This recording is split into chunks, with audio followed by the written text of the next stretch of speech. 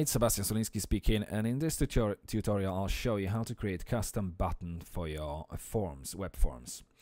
Uh, first of all, let's create the form within Dreamweaver or any other text event application. Um, okay, I'm going to go quite easy. I just simply do it this way. no, yeah, form one, let's leave it like that.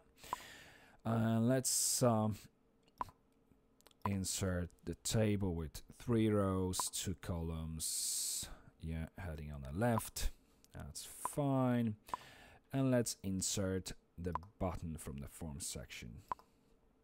Okay, we're going to give our button the ID of BTN label.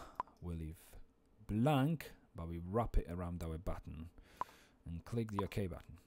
Okay, now what we are going to do, we are going to assign this label to our button, which means we're going to type for btn, and we also are going to provide our label with the ID.